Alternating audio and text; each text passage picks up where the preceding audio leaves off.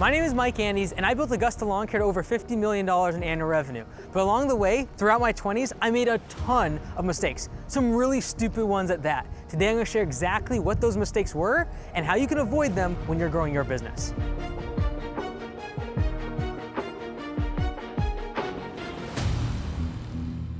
Early on in my entrepreneurial career, I really fell in love with the starting line. When it comes to business, it's like a marathon. Because at the very beginning of the start of the race, there's a lot of fanfare, there's a lot of novelty, there's a lot of cheering, there's loudspeakers and music, and everyone's cheering for you on the sidelines. But there's a very lonely and long run and race that has to be run in between.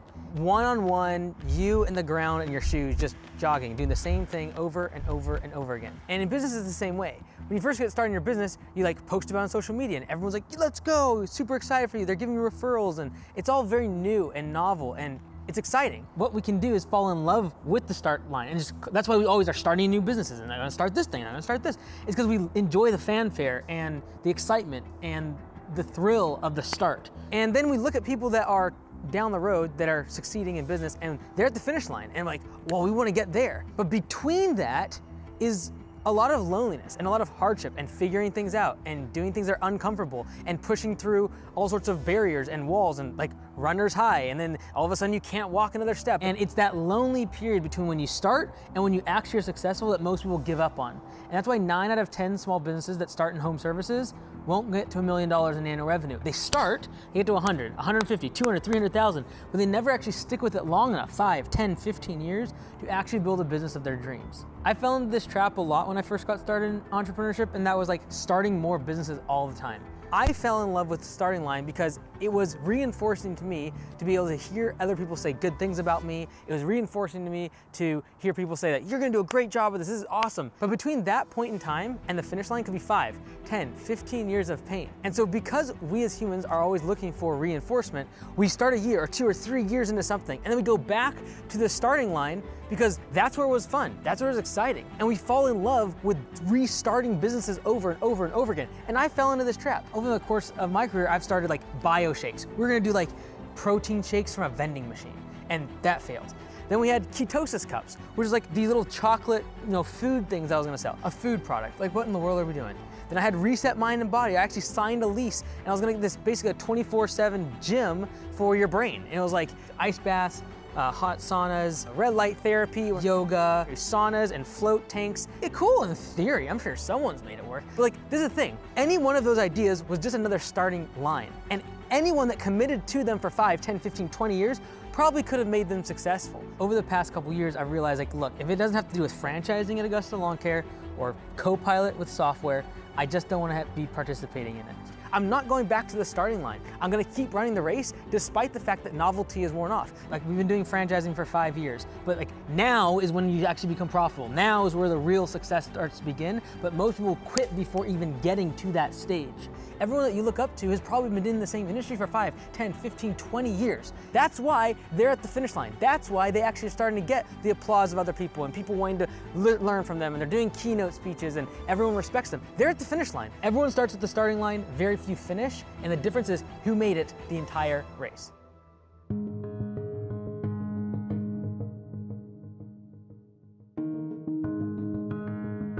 As the business have grown, I've realized that outmaneuvering the competition using speed is overrated. Now, when you're first getting started, you're rewarded by taking action very quickly and making decisions very rapidly and pivoting and making changes. And if I'm trying to get around all of these you know, pylons, it's very, I'm agile, I'm nimble. But as the business grows, as you begin to get more employees, get more customers, and the organization is growing, and I'm moving faster on something like a bike, it's a lot more difficult to get through these in a more agile way. And if I crash, it could cause a lot of hurt. And that's what I've seen as I've grown the businesses, especially with franchisees at Augusta Lawn Care, that depend on me to make good decisions. If I make a decision too fast, I'm gonna hurt other people. Three years ago, I did a decision way too quickly. And we had command center, we were in the middle of spring rush. It was just absolutely insane. We were missing calls. There was way more leads coming than we thought we had planned and anticipated for. And so I decided we were gonna cut a whole bunch of services at command center. And I did it overnight. That was a dumb decision.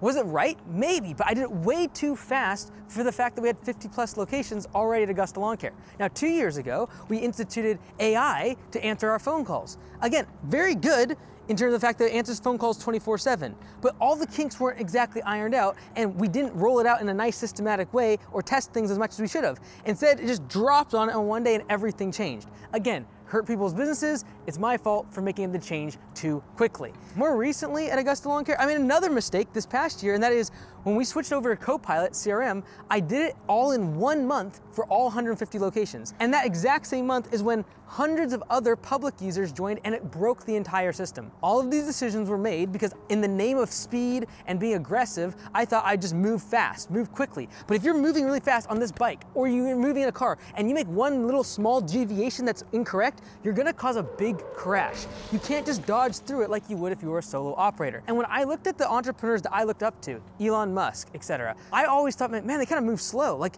the Cybertruck is four years late. And then you look at Apple, like they don't create new products very much, and really groundbreaking innovation. They just make and execute things very, very well, and they don't rush things. They just, we're not gonna rush, we're gonna take our time and, and, and, make a great product, make a great service, regardless of whether or not we're late, regardless of whether or not we're the first to market. And as a leader, you're always gonna be judged as being too slow or too fast to react to things in the business. However, I've found that making a decision too fast is twice as damaging as making a decision too slow. As the business grows, what you get rewarded for shifts from quick decision making to great execution. See, there's no way I'm gonna be able to think clearly and talk and drive this bike. Yeah, is that happening?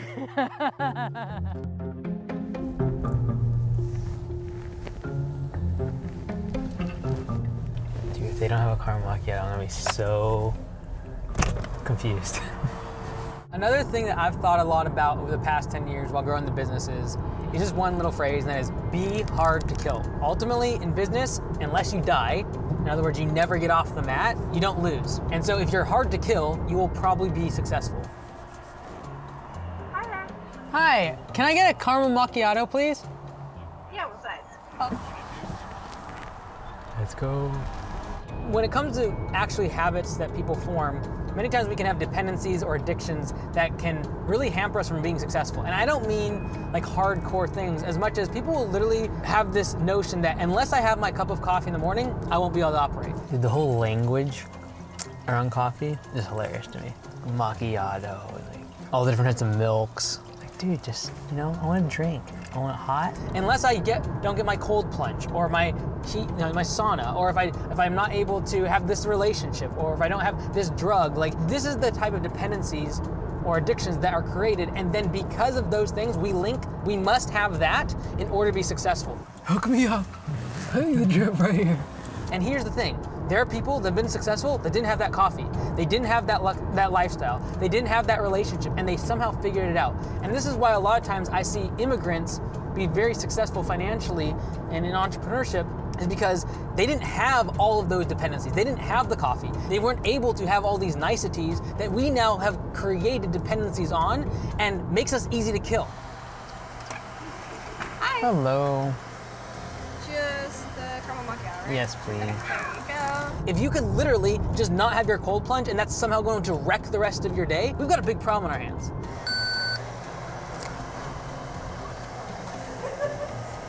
Awesome. Thanks. Thank you so much. Appreciate it. If you ever hear someone say these words, you know that they're easy to kill. That is, I just can't get going in the morning unless I hmm. sniff the cocaine.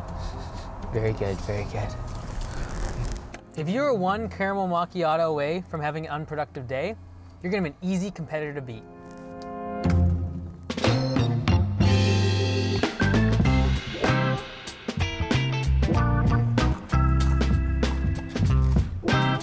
One of the biggest mistakes I made early on when I started my business was majoring on the minors. And there's a ton of little things inside your business that you can get distracted on and spend way too much time thinking about. For example, like I spent way too much time thinking about like the type of mower I was gonna get, the type of trailer I was going to get. And I would spend weeks, months researching and looking into it, the type of blades I was using on my mower, what name of the business was going to be. And we focus on all this time and attention. We get so maniacal about these little details in our business and we major, we spend all of our time on these minor things instead of focusing on the big rocks, the things that actually matter in our business, like your close ratio, the fact that pricing, if you just fix that one thing, it makes a massive impact to the company and to your bottom line. Those little rocks, I spent all that time and energy trying to focus on getting it perfect, and it hardly actually adjusted or affected the business. The type of mower that I had did not affect whether or not my business would be successful. The type of truck I had did not matter. Focus on things that really do matter inside your business. Now, these are heavier things, these big rocks.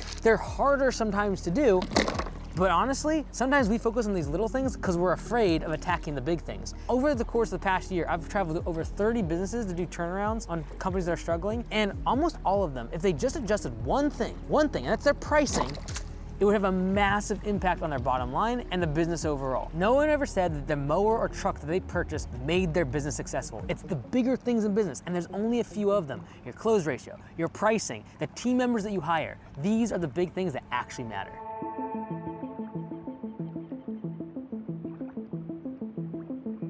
I learned that debt is like entrepreneurial cocaine. Basically what you're doing is you're borrowing from tomorrow in order to be able to fix a short-term problem of a cash crunch. And I think about it like sugar.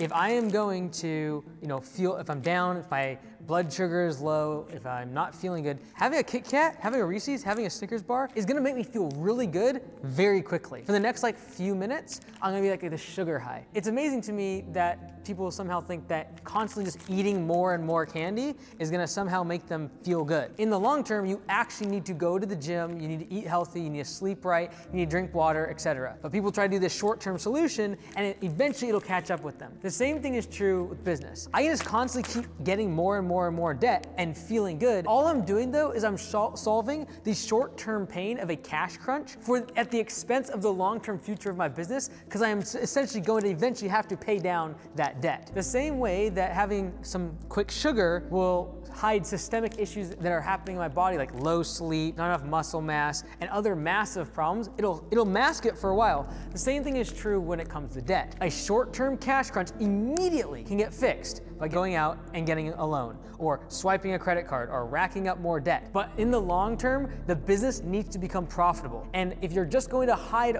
and put lipstick on a pig of a business model, it's just not going to actually solve the root of the problem, which is you need to make more money and be profitable. Over the past year, when I've been doing all these turnarounds around the country, one of the major common denominators of all the businesses that either go out of business or fail is they have a bunch of debt. In part, not because of the debt, because a lot of times there is a solvable solution and a path to getting out of it. However, having a lot of debt will usually cloud your judgment when it comes to making good decisions. And that's the part that really cripples people because they need to adjust their pricing, but because of the debt, they, they're afraid or they feel like if they lose customers, they won't be able to afford the debt service and the loan payments. And and so all of a sudden, they're making bad pricing decisions because of the debt. And a lot of times, that sort of debt burden is what clouds entrepreneurs and that prevents them from making good business decisions. Now, let's look at how debt affects your financial statements. Because a lot of people wonder, how is it that I can have a profitable business and still run out of money? Here's how. On your profit and loss statement, you're actually only going to see the interest expense, which means technically if you have 0% interest, you will actually never see any trace of debt on the P&L. Because what you're, when you're paying down the principal, your principal pay down, or the original sum of the debt, you never even see it on the P&L. That is a balance sheet item. So on the balance sheet, I'm going to see the debt as a liability. But here's the problem. Now on a balance sheet, assets have to equal liabilities. And when you get a loan, you get more assets, cash, and at the same time you get a loan, which is a liability. And so it's like, well, it evens out. I got more cash, I got debt on the, the books, but who cares? But if you're paying, if you're using up this cash and that loan balance is still staying consistent, that's when we have a problem. And that's why I think that most of us should be looking at our statement of cash flows. This is showing money going in and money going out of the business. Because on my P&L, that loan can hide. Even on my balance sheet, I can see the debt, but it's like I can kind of discount it because I got the extra cash. But your statement of cash flows will not lie because it's going to show the actual principal pay down as well as the interest expense that's going in and out of the business. And cash flow is king. Why? Because if you don't have cash flow, even a P&L that looks like you're making money, you can still go out of business. And if you're like, what's a statement of cash flow? It, think about it. It's like money in, money out. And what's the difference between how much you spent and how much you made? And you can just get this on QuickBooks. Just download it. Statement of cash flow.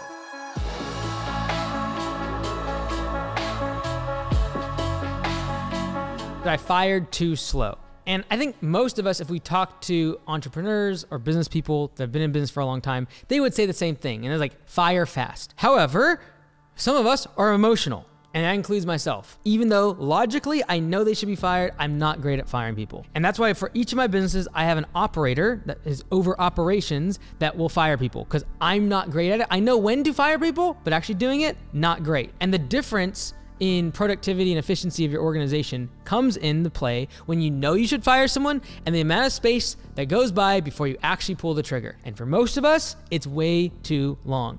The amount of damage that is done in that period of time, the amount of wasted time for that team member, the payroll that you pay them, your time and energy and mental space that's put towards it. And then the rest of your team, they get slowed down from having this cancer inside the organization is insane.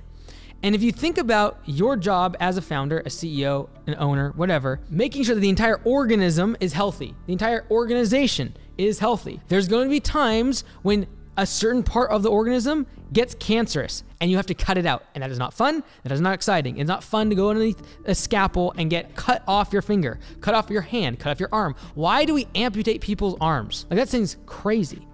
The reason we do it is because we want to save the rest of the organization. We want to save the rest of the organism. And there's going to be people inside of your organization that you will have to cut out and it'll be very painful. And you might even miss them somewhat because it's an appendage, it's a leg, it's a finger, it's a toe. Something you have to cut off in order to save the entire organism. And your job as the founder is to ensure the health and success of the entire organism, the entire organization, not making sure that one person that is cancerous to the company is having bad performance, is losing money for the company. That person needs to be cut out of the organization, and it's your responsibility to make sure that happens. There's not one single time that I have ever fired someone or any of my operators have fired someone that I regretted it down the road. Now, at the first, it's painful and it hurts, and I hate firing. And this is why I don't do it most of the time. But not one single time has any of us ever regretted firing somebody. In fact, usually when you fire someone, over the next week or two, you find out all the stories of all the things that they were doing beforehand that their team was covering up for them because they were trying to be a good team member. They were trying to abide by good cultural standards and protecting each other. And all of a sudden, when that person gets cut out, all the stories come out all the skeletons come out of the closet of all the things that they were doing behind your back, all the things they were saying, the damage they were doing to the culture, their lack of performance, etc. And most of the times, most of the times, within a matter of a few months, the person that gets cut out of the organization, their replacement is a far better, more superior fit for that role. They do a better job, they're more productive, they make more money, the people that they work with are more efficient. And realize that one bad apple inside of an organization, one bad cog inside the machine slows everything down. And so sometimes you won't fire someone because you're like, what about the productivity of the team? What about the efficiency of the team? We won't be able to make as much money. And then you cut that person out and realize the entire organization, the, the grease of their gears, everything going well because you took out one defective part from the machine, everything works more efficiently, more effectively, and you make more money. Every single time I've had to replace someone, their replacement became an upgrade to the team within a matter of just a few months. How'd it look? okay. Okay. Just look at this. One of the things I've learned more recently in my career is that just hiring based upon culture is not going to get you past $10 million in annual revenue. Let me explain. When you grow a business from zero to a million dollars, if I had to generalize what skill you're going to really want to focus on, it's going to be work ethic. If you have great work ethic and you sell and you really focus on hiring and you focus on just getting your name out in the marketplace, getting enough customers, and working crazy amounts of hours, you can probably have a million dollar business. Now, to get past 10 million, you're gonna have to really focus on another skill because no longer is just how hard you work going to do uh, as much good for you. You're gonna actually have, to have really good management skills. Now, I assume that you have you know, you're owning the business exclusively and you don't have a partner that could kind of do this for you and be more operationally driven. But typically getting to a million, you need work ethic. In order to grow a $10 million business, you need to hire really good people and then manage them effectively. Now, if you're trying to grow the business past $10 million and you're trying to grow it to a $100 million, and this is where I'm currently at, and I've been stalling out around this stage because I was not focused on recruiting great talent. And more recently, a great example this is at Copilot CRM. where we had massive problems and issues happening because I was trying to hire good cultural fits and then train them up on the skills that I had instead of going out and recruiting talent that had already done this for 5, 10, 15 years. More recently, our VP of product, Josh, he's already done this before. And so I want to take his 5, 10, 15 years of experience and then draw that experience into the organization and immediately be able to get massive advantages of time. At this stage, I'm trying to hire people that already know what good looks like. I don't have to train them on how to do their job. Now, be very clear, that's at this stage of business. At a million dollars, you probably just need to work harder. And that's just the brass tacks of it. Do more sales, do more follow up phone calls, do more hiring, do more training, just do more of everything and work like crazy hard. Growing past that though, to from a million and beyond, you're gonna have to have great management skills. Focus on those things before you go out and recruit talent. Otherwise, you probably don't have the money to be able to actually go find the person that has enough talent to take you to 100 million.